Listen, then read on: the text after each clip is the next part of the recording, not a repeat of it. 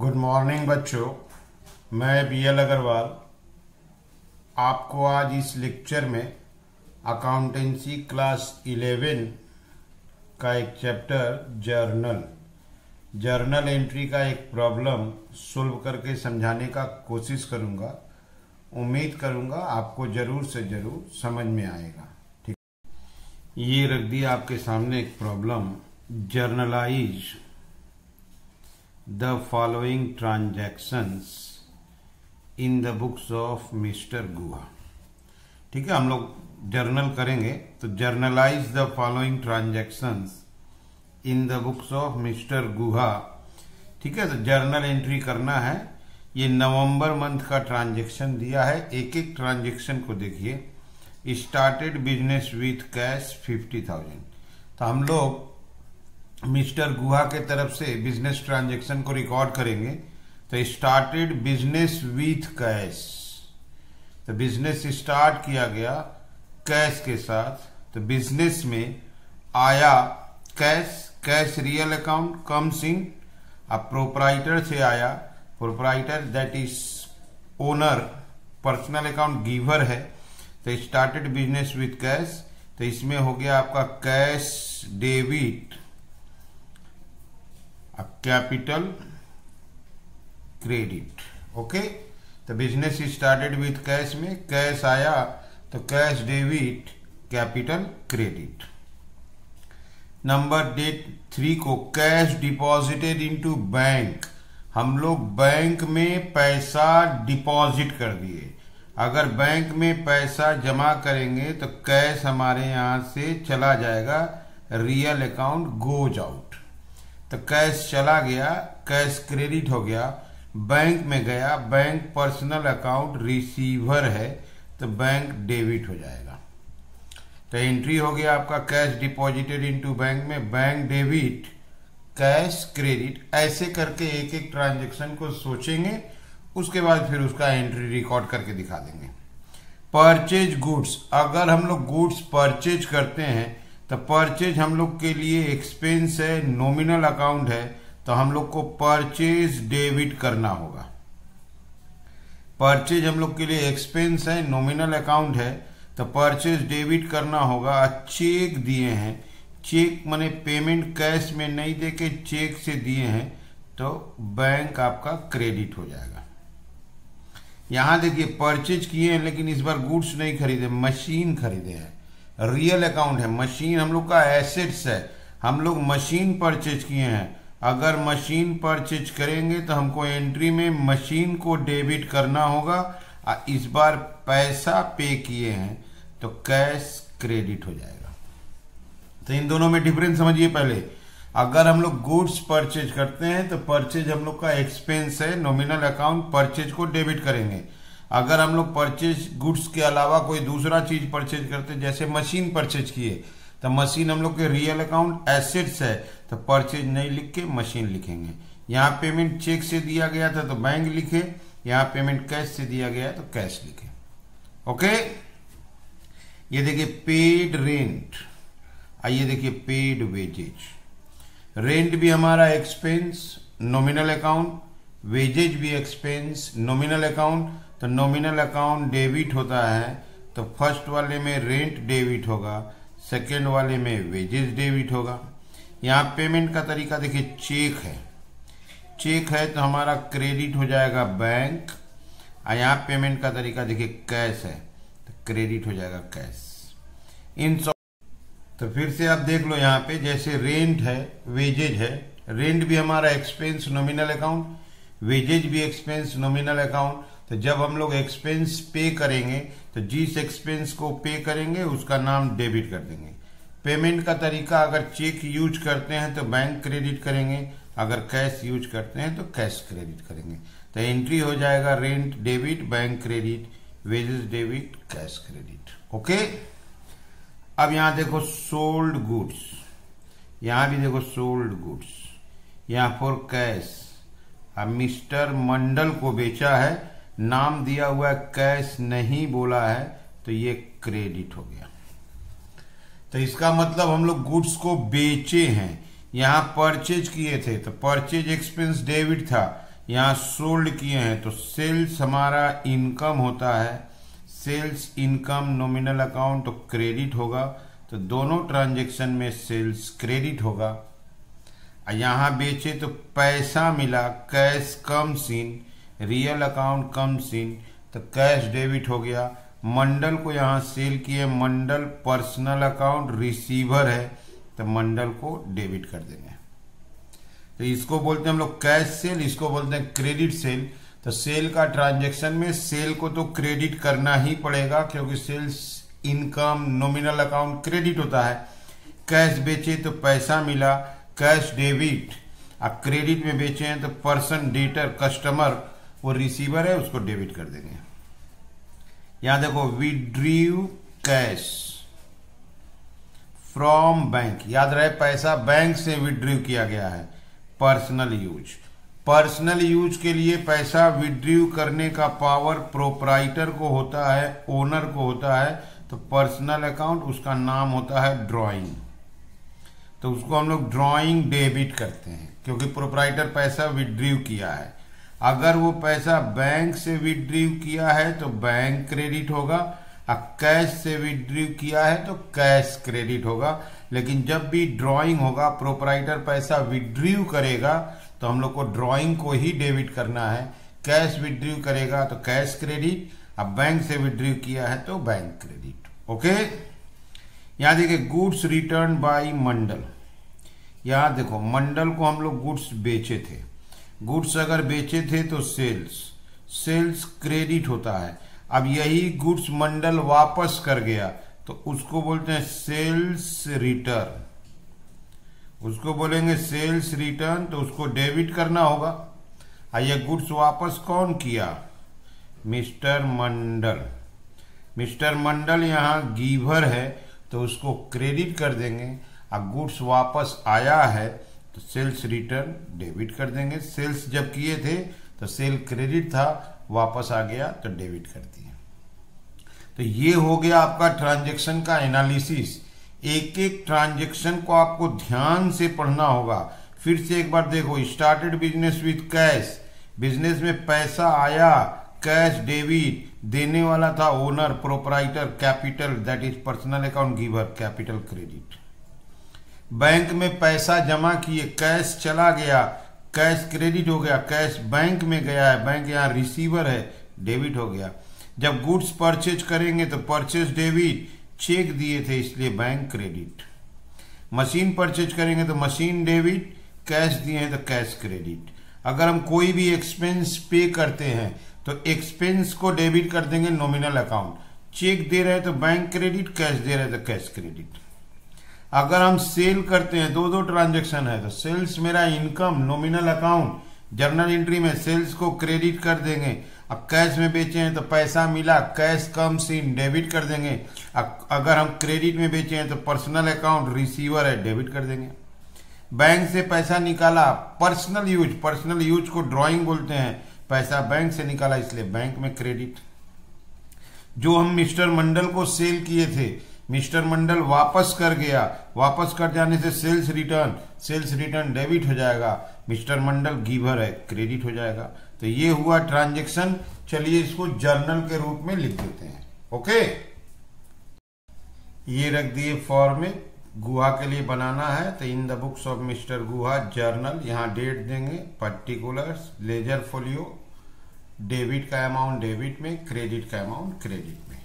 पहला ट्रांजेक्शन था started business with cash अगर हम लोग कैश में बिज़नेस को स्टार्ट करते हैं तो कैश आया कैश डेबिट अब फ्रॉम ओनर आया that is capital credit date है 2013 नवंबर वन ओके यहाँ पहले डेट देते हैं 2013 2013 November 1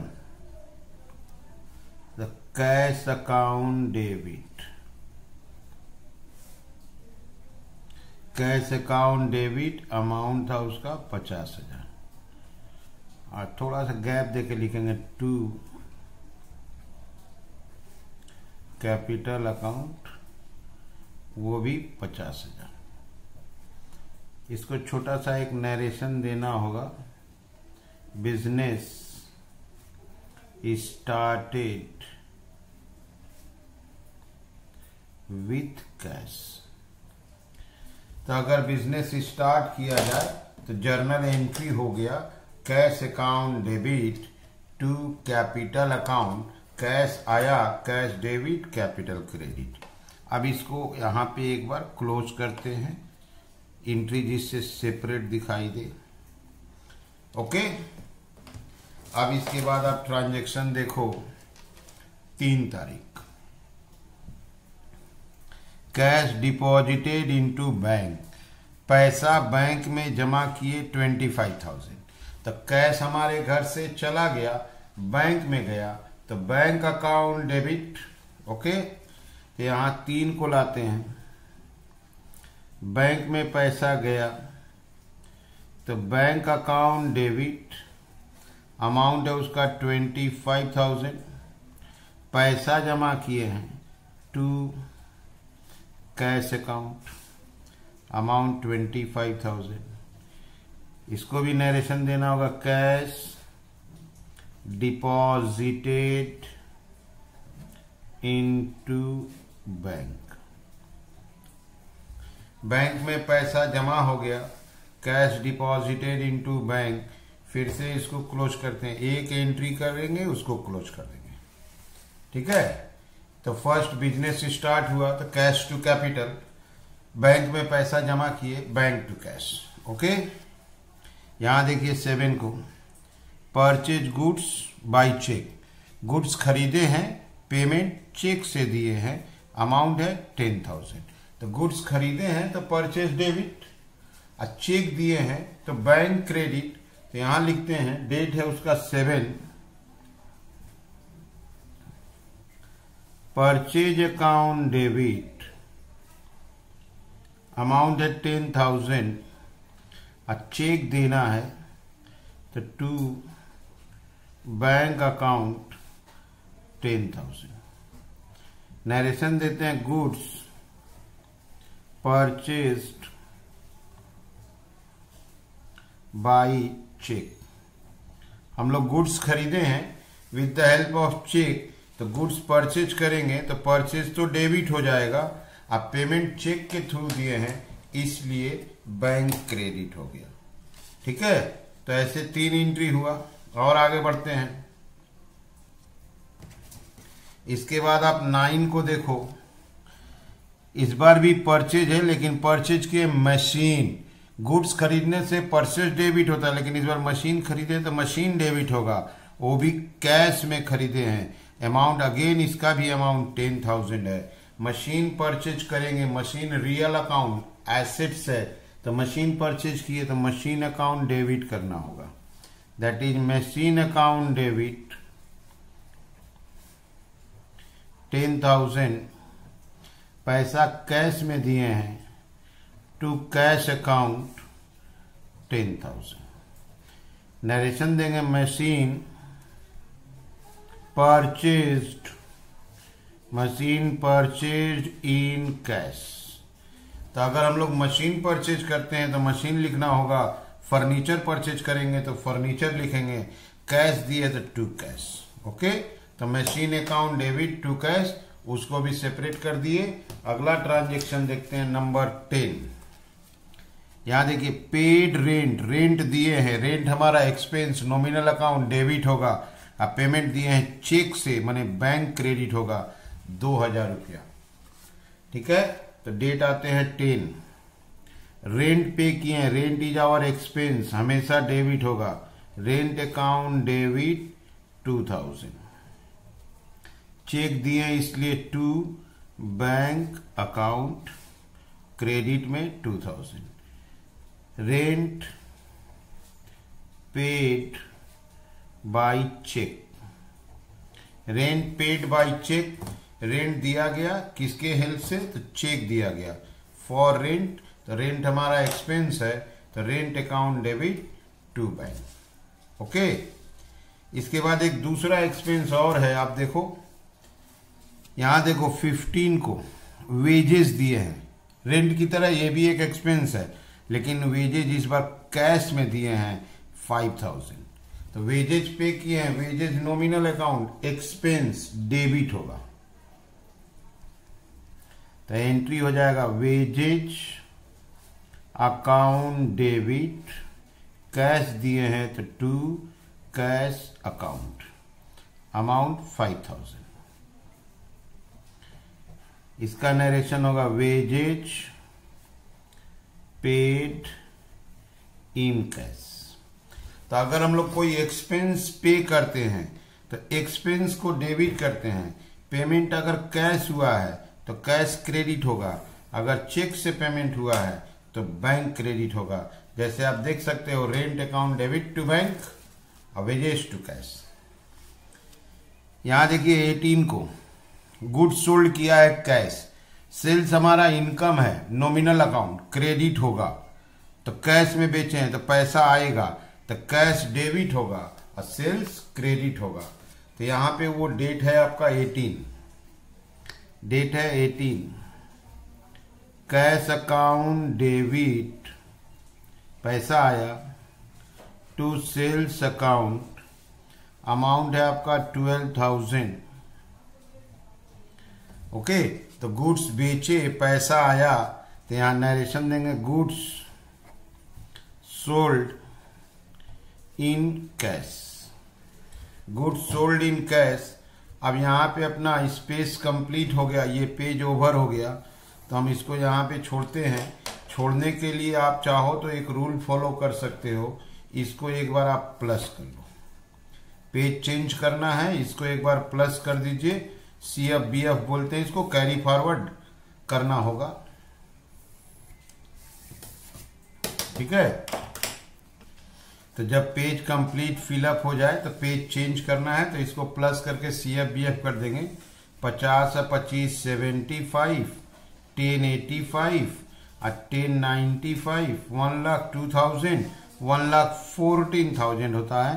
तो इसको लिखते हैं total C F C F मतलब carry forward one one four triple zero one one four triple zero one lakh fourteen thousand ये है क्या एक्चुअली डेबिट का टोटल डेबिट में क्रेडिट का टोटल क्रेडिट में, ये टोटल अब नेक्स्ट पेज में सी एफ़ है तो नेक्स्ट पेज में बी एफ़ बना देंगे. ओके प्रीवियस पेज का टोटल कैरी करके लाएँगे total B F one one four triple zero one one four triple zero last page में जो टोटल था, उसको फ्रेश नए पेज में ले आए। ये देखिए सी एफ़ और उसको बना दिए बी एफ़ डेट था 2013 नवंबर। ओके तो हम लोग पहुँच गए थे 18 तक 22 में देखिए। फिर से सोल्ड गुड्स है मंडल को। इसका मतलब ये क्रेडिट सेल है। मंडल यहाँ हमारा कस्टमर, रिसीवर है। डेबिट हो जाएगा। और सेल्स किए हैं तो sales income, revenue account, income, nominal account, credit हो जाएगा। डेट है इसका 22 Mr Mandal account debit to sales account. Mr Mandal को जो गुड्स बेचे हैं, उसका वैल्यू फाइव थाउज़ेंड है। नरेशन हो जाएगा goods sold to Mr Mandal on credit लिख देते हैं। मिस्टर मंडल को हम लोग गुड्स बेचे हैं, ऑन क्रेडिट का मतलब हुआ पैसा बाद में देगा, ड्यू रहेगा। तो Mr Mandal personal account receiver debit करती है। ओके तो Mr Mandal account debit to sales यहाँ देखिए 25 को।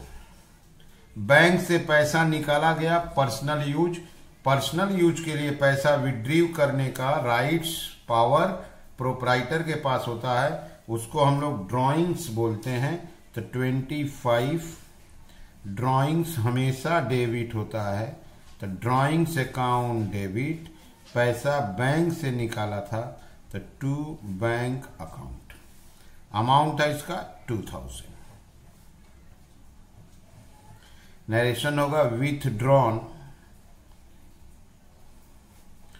from bank for personal use personal use के लिए पैसा प्रोपराइटर विड्रीव कर सकता है अब प्रोपराइटर जब पैसा विड्रीव करेगा तो उसको ड्राइंग बोलेंगे। ड्राइंग डेबिट अब बैंक से पैसा विड्रीव किया था, इसलिए bank credit okay last transaction Mr Mandal जिसको हम लोग गुड्स बेचे थे, वो थोड़ा सा स्टॉक एक हज़ार का रिटर्न कर गया। तो बेचा हुआ गुड्स वापस आया तो सेल्स रिटर्न सेल्स क्रेडिट होता है, और सेल्स रिटर्न को डेबिट कर लेंगे। तो लास्ट डेट है आपका तीस तारीख। Date thirty sales return account debit to Mr Mandal account amount है आपका one thousand goods return by Mr Mandal. Mandal goods वापस कर गया तो goods return by Mr Mandal. यहाँ ट्रांजेक्शन कंप्लीट हो गया that is problem complete solve हो गया। अब लास्ट में जर्नल को टोटल करके छोड़ दिया जाएगा। ये रूल्स में है कि टोटल करना चाहिए। पेज बदलेगा C F B F complete हो जाएगा तो टोटल यहाँ देखो, पहले से टोटल आया one one four triple zero five thousand add किए one one nine triple zero दो हज़ार ऐड किए वन ट्वेंटी वन और एक हज़ार ऐड किए वन ट्वेंटी टू थाउज़ेंड